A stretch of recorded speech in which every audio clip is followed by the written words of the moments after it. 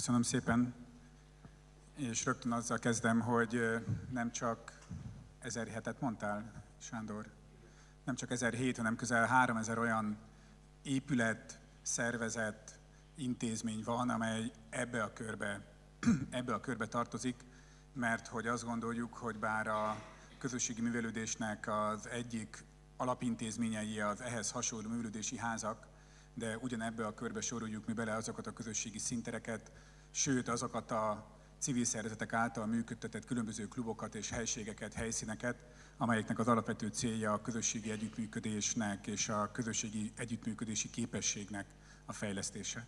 Amiről én beszélni szeretnék, az három alapvető kérdés, hogy, illetve négy, hogy mit értünk mi ez alatt, ez azért többnyire szerintem ismerős lesz a kollégáknak, és hogy miért, mit és hogyan tervezünk mi a minisztériumban a közösségi művelődés fejlesztésével kapcsolatban, illetve hogy milyen kapcsolódási pontokat látunk mi az innováció kérdésköréhez.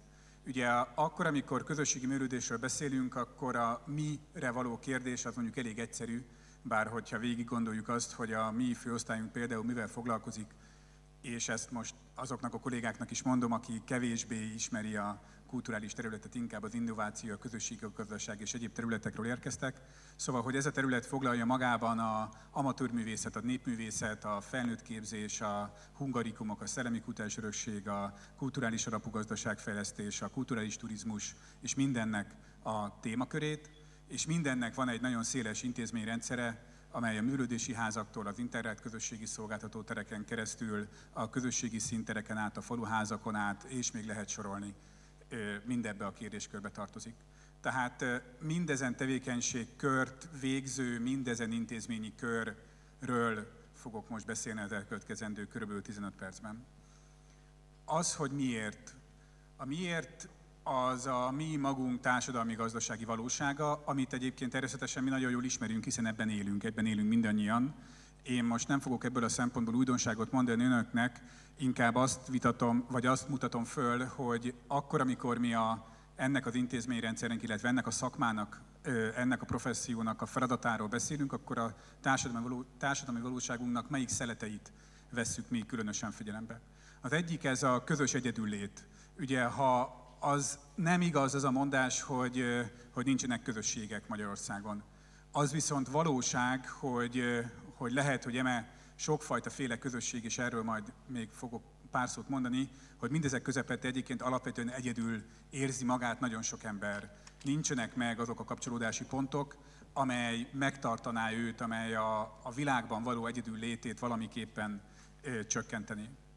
A tanult tehetetlenség ez, a fog, ez, ezzel a fogalommal szoktam leírni azt az állapotot, amikor azt mondjuk, hogy áfelesleges, azt mondjuk, hogy ó, hát dehogy, azt mondjuk, hogy úgysem.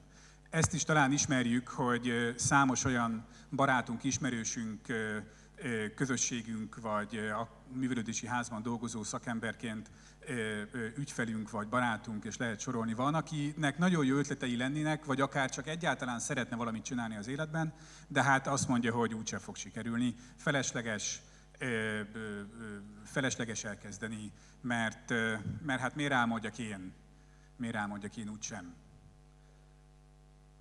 Társadalmi mobilizációs csatornák szűkössége. A, elindult ennek kapcsán egy folyamat, de azért látnunk kell, hogy ez jóval lassabb, mint amennyire egyébként ennek szükségesnek kéne lennie, illetve amennyire szükséges lenne, hogy ez gyorsabb legyen. Azt lehet mondani, hogy gyakorlatilag a, aki ma Magyarországon szegényként születik, nagyon csekély az esélye arra, hogy ne szegényként búcsúzzunk majd el tőle. A, azok a mobilizációs csatornák, amik azt szolgálnák, hogy a társadalmi ö, ö, ö, munkamegosztásban, vagy, vagy az anyagi javakban, vagy a tudás megosztásban minél több jusson azoknak, akiknek jelenleg kevés jut, ezek a csatornák jelenleg a szükségesnél jóval szűkösebbek a bizalom hiánya, hallottunk már a bizalom hiányáról. Ehhez viszont én hozzáteszem a szeretetlenséget. Akkor, amikor én szeretetről beszélek, akkor én nem a lányregényekből ismert csöpögős rózsaszín valamiről, hanem arról a attitűdről, ami a másik javának akarását és az ezért való aktív cselekvést jelenti. A kettő azt gondolom, hogy nincs meg egymás nélkül. A bizalom és az érték és a szeretet az összefüggő fogalmak. A bizalom az egyik alapkötőelem, ezt viszont fontos, hogy értékek töltsék meg. Példaként mindig a Cosa Nostra szoktam mondani, kevés olyan szervezet van, amelyben kevesebb bizalmi tőke van, mint abban, ám bátor mégsem azok az értékrendek irányítják, amelyeket mi adott esetben követendőnek gondolunk. A valóságunknak azonban viszont van egy másik szelete is, ezek azok a helyzetek, amikre mi alapvetően választ kívánunk adni a magunk intézményrendszerével. Van viszont egy másik szerete is a valóságnak, ez pedig például az, hogy a közösségek fogalma teljes mértékben kezd átalakulni a napjainkban. Ugye akkor, amikor én például tanítok a főiskolán, és megkérdezem, hogy hány közösségnek a tagjai a fiatalok, akkor exponenciális mértékben egyre több közösségnek a tagjai minden évről évre, Természetesen ugye ezek nem csak olyan közösségek, amelyben ismerjük egymást, hanem érdeklődés alapján összejövő, sok esetben virtuális közösségek is. 8-10 évvel ezelőtt, amikor ezt a kérdést föltettem, akkor ez a dimenzió nem jött be. Most már alapvetően része a fiatalok gondolkodásának az, hogy nem csak azt nevezik közösségnek, amikor mi egy térben, egy valamilyen cselekvés érdekében együtt vagyunk. A másik, a közvetítő platformok bővülése. Erről ezen a konferencián azt gondolom nem szükséges beszélni, minket is most hallanak máshol, mindegyikünk, mindegyikünk zsebében ott van, vagy sokunknak a zsebében ott van a félvilág egy közvetítő platformnak a segítségével. Tehát megnövelkedtek azok a közvetítő eszközök, amivel információt, amivel szándékokat, amivel cselekvési lehetőségeket, akár cselekvési folyamatokat ö, tudunk összehozni.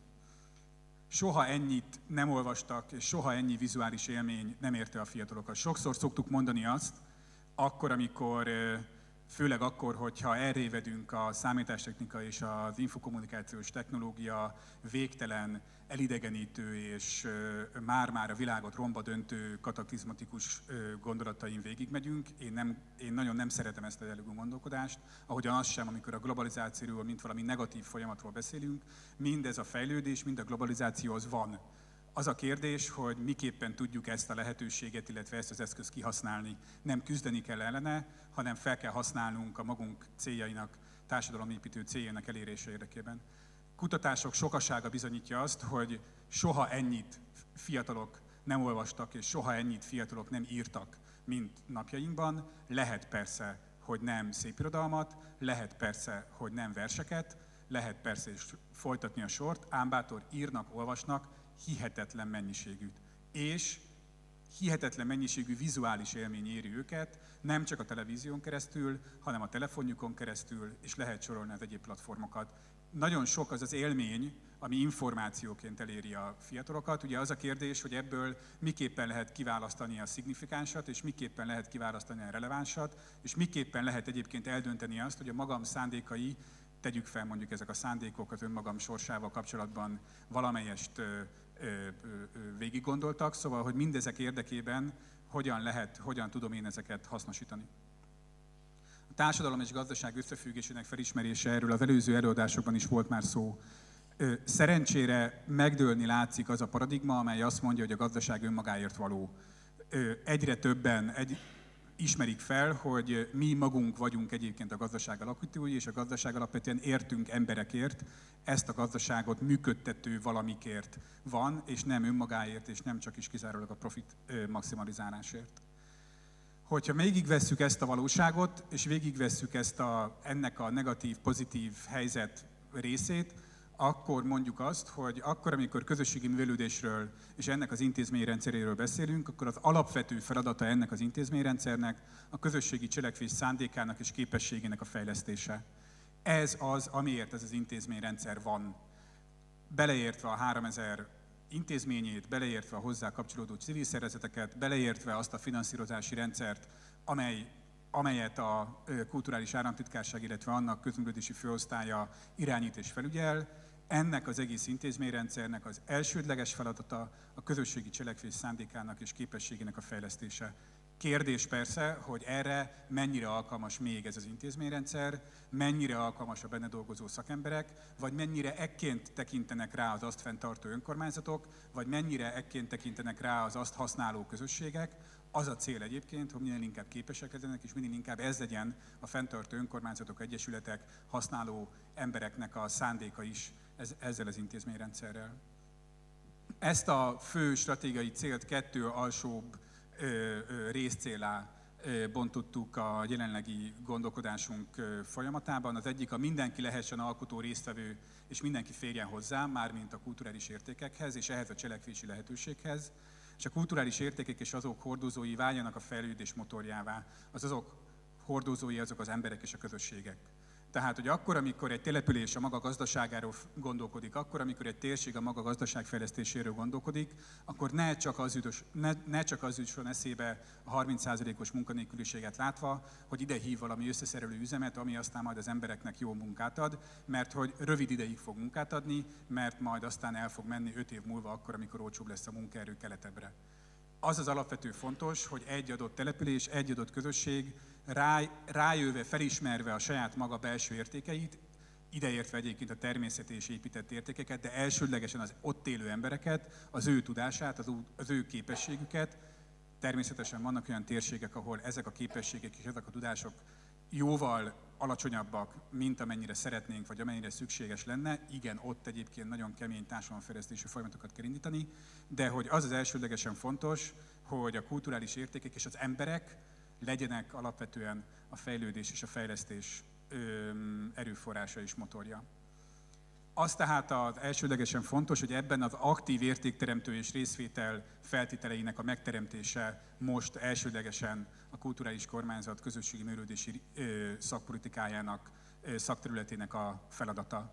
Legyen mindenhol olyan tér, ahol közösségi aktivitást lehet végezni, legyen mindenhol elérhető olyan szakember, nem feltétlen minden 60-30 fős településen napi 10-12 órában, hanem ha lehet, akkor valami, ha vagy mert ugye erre nagy valószínűséggel nem lesznek meg az anyagi erőforrások, ám bátor elérhető rendszeres módon legyen olyan szakember, aki ezt a folyamatot segíteni tudja, legyen képes ezt a folyamatot segíteni, és legyen az a folyamat, ami a kulturális centrumokból és intézményekből az emberek és a településeket összeköti, tehát akkor, hogyha valamely tudás, érték, tartalom nem érhető el valamely településen, akkor vagy az ott élő emberek időszakosan jussanak el ezekre a településre, vagy ezek az értékek jussanak el időszakosan az adott településre. De az elsődlegesen fontos szempont, nem tudom elégszer hangsúlyozni, az amellett, hogy kulturális tartalmakat el kell juttatni, és meg kell ismertetni az emberekkel, mindenek előtt az, hogy a saját cselekvő képességük, a saját kulturális értékteremtő képességüknek a megerősítése.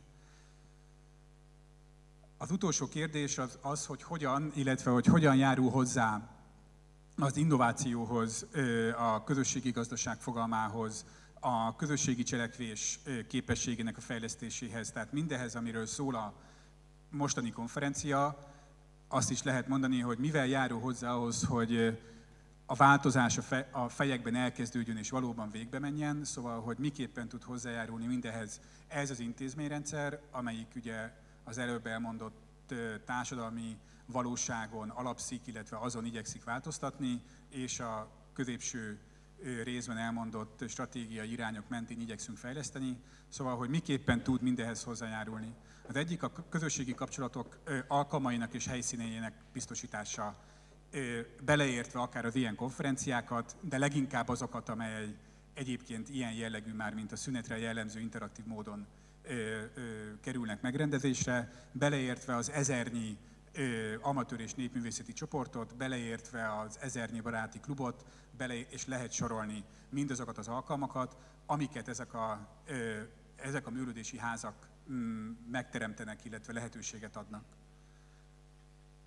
A cselekvési tér és példák, közösségi akció generálása és támogatása, mert hogy azt gondolom, hogy azon túl, hogy, hogy ezek az intézmények a maguk falain belül biztosítják a azonos érdeklődési korú, és lehet még sorolni, hogy miképpen, milyen szempontból azonos embereknek, fiataloknak, időseknek, középkorúaknak az együttlét alkalmait, amennyire lehet, akkor ez egyébként legyen interaktív, és legyen valóban teremtő, ne csak befogadó, hanem egy adóvevő folyamatban tede, ö, ilyenekkel terelévő közösségi alkalmak.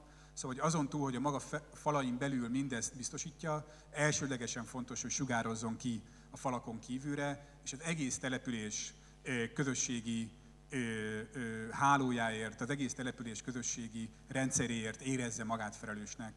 A, lehet, hogy vannak olyan intézmények, amelyeknek a felelőssége az megáll a maga falain túl, mármint olyan egyéb jellegű humán szolgáltató intézmények, viszont a közösségi működés intézményrendszerének elsődleges feladata az az, hogy az egész település életéért és annak közösségi hálójáért legyen felelős, és ennek kapcsán elemén fontos, hogy különböző közösségi akciók megvalósításában működjön közre. Az nagyon fontos, hogy nem ő szervezi, nem ő csinálja meg, úgy egyébként általában egy jó közösségi működési szakember nem ő csinálja meg a programokat, hanem bevonja az embereket, mert ezáltal lesz helyük, szerepük a településen, mert ezáltal válnak valóban cselekvő emberré.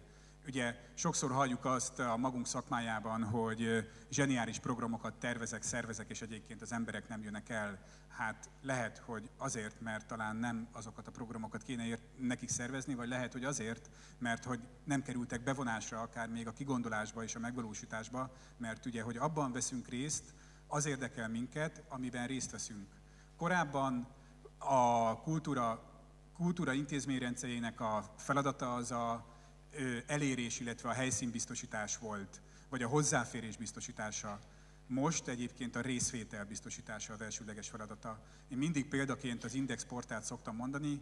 Az Index portálnak a második, vagy az Index 2 kiadás az ugye arról szól, hogy tele van, és mi több, csak azzal van tele, amit egyébként nem az Index szerkesztősége tart, nem az Index szerkesztősége ír. Ugyanúgy, ahogy valamikor a, a médiumoknak, illetve a, a, a, a média világának az elsődleges feladata a hírek továbbítása volt, és egy professzionális hírtovábbító intézményrendszer jött létre. Most ezek a portálok, ezek nem, első, nem csak az általuk generált híreket mutatják, hanem mindazokat az egyéb híreket, amiket egyébként mások megjelenítenek, tehát a közvetítésből sokkal inkább a részvétel irányába fejlődött ez a világ. Ugyanezt kell megtennie a kulturális intézményrendszernek is, a hozzáféréstől a részvétel irányába kell, elfejl, ö, kell elmozdulni. Inspiratív és támogató háttér. Sokszor besz, ugye az előző előadásban is hallottuk azt, hogy jó dolog a hiba. Igen. Azt gondolom, hogy, hogy hibázni jó, akkor, hogyha egyébként tanulunk belőle. Ugye van ez a mondás, hogy az okos ember a másik hibájából tanul. Szerintem ilyen ember nincs mindenki csak is kizárólag a saját hibájából tud tanulni, mert azt éljük meg, azt érezzük a saját magunk bőrén. Tehát igen, ennek az intézményrendszernek az a feladata, hogyha valaki elkezd valamit, akkor ott legyen mellette. Hogyha elbukik, akkor segítse, vigasztalja, lökögesse tovább, noszogassa tovább, nem megcsinálva helyette, mint azt korábban mondtam. És azt gondolom, hogy ennek a, a, az egész folyamatnak és intézményrendszeri gondolkodásnak lehet az, a, az az eredménye, hogy egyfajta attitűdváltozás indul el azokban a mikrotársadalmakban, azokban a közösségekben, amelyek ezek az intézmények körül vannak, és az a jellegű gondolati shift, hogy akkor most valóban nem biztos, hogy meg kell vennem azt a fúrót, hanem egyébként kölcsön is kérhetem. Az, hogy nem biztos, hogy, hogy föl kell halmoznom, hanem egyébként meg is oszthatom. Az az iroda, ahol, vagy az az épület, ahol az a cég működött, amiben én dolgoztam az előtt, mielőtt a minisztériumban elkezdtem dolgozni, ott megjelent egyszer egy kiírás a falon, hogy most költöztem ide, látok 12 wifi elérést itt, a telep, itt ebben az épületben, ki az, aki megosztaná velem ennek a félhavi díját, nem akarok filmeket letöltögetni, csak normál levezésre használni. Jellemző egyébként, hogy ez egy angol nyelvű kiírás volt. Tehát, hogy, hogy, hogy mikor lesz az elsődleges gondolat az, hogy egyébként én ezt megosztam, mikor lesz az, amikor, amikor, nem, amikor nem csak azért veszek használt ruhát egyébként, mert hogy az olcsóbb, hanem azért, mert az egyik legnagyobb szeméttermelő ágazat egyébként a ruhaipar, hanem tehát, hogy, hogy ezt a jellegű attitűdváltozást tudják elérni ezek a mikroközösségek, és egyébként csak ezek a mikroközösségek. Tehát mondhat bárki állami vezetőként bármit, mondhat egy minisztériumi főosztályvezető bármit, akarhatjuk azt, hogy elinduljanak ilyen társadalmi változások, hogyha ez a folyamat a kicsi mikroközösségekben, az emberek saját maguk szeretetű világában egyébként nem indulnak el ebből fog összeállni majd egy nemzeti szinten érzékelhető társadalmi-gazdasági fejlődés. Azt gondolom, hogy ennek az alapvető támogatása, ennek az intézményrendszernek a feladata. Ezt igyekszünk a minisztériumból támogatni és lehetővé tenni, és erre hívom egyfajta kalandként a nem kulturális szakembereket, hogy gondolkodjunk ebben együtt közösen, hogy miképpen fordítható meg, vagy miképpen indítható el, miképpen gyorsítható föl ez az attitűdváltozás, amiről itt az utolsó percekben beszéltem. Köszönöm szépen!